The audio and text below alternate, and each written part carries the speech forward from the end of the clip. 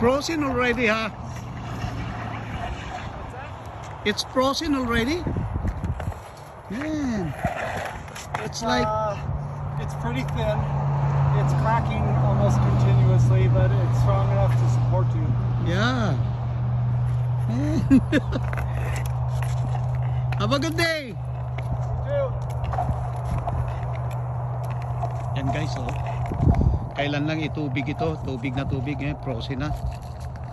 Yan nyo, oh. Yellow na ang mga river dito sa Alaska. Ayan. Yellow na siya.